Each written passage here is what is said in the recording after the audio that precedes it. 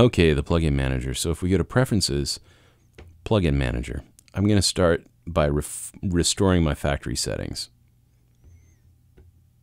Okay, so what's Plugin Manager all about? Well, what you can do is create categories for your plugins and then store your plugins within those categories. Sounds really simple, but I'll tell you, when you have something like, you know, if I go to my UA plugins, it's a pretty big list. And um, you can't always remember sometimes. It's like, what's the Roland CE1 again?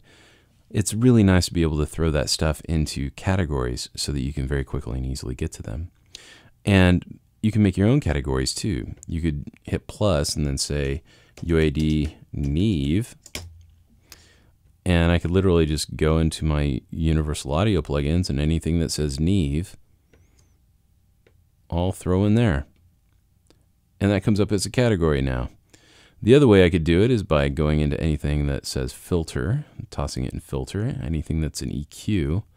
I know those are EQs. Pop those in there. I start going down through all my different manufacturers. Like if I go to Camel Audio, that might need a new category called multi effects. Uh, go to Brainworx. Got all these EQs and cool stuff. And dynamic EQ, I'll put that in EQ as well. Now, if you want anything at the top level, like maybe it's something that you use all the time and uh, you want to have very quick access to it, like my Studer A800 I use quite a bit, so I'll put that at the top level. I could also put my SSLG bus compressor at the top level. Now, to get this to show up, you just hit done. And you wait a second because it's got to reboot. All right, there we go. So I'll come into my audio effects. And look at that. There's the SSLG, there's the A800, there's my multi effects group, and there's all my Neve stuff. It's all organized. Tell you, that's huge.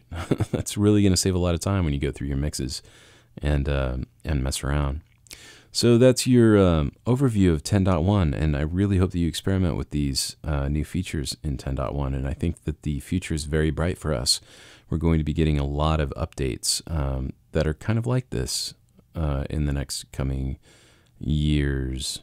Um, they're going to be major updates, but we're still going to see 10. It's not going to be 11 where you have to buy something. It's just going to be a giant package of cool stuff that they throw into 10. So um, hope you get a kick out of this. Go for it. Um, and uh, I hope it really improves your workflow. So I'll see you next time. Take care. Ciao.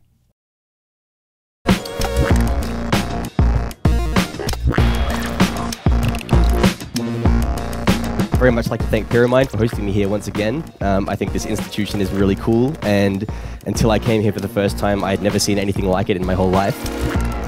What I think really separates us from other people who teach is that we are outrageously passionate about what we do, and especially in electronic music. Since since coming to Pyramind, I, have discovered electronic music, and you know San Francisco being a mecca for underground electronic music opened up so many doors for me, and kind of blew my mind.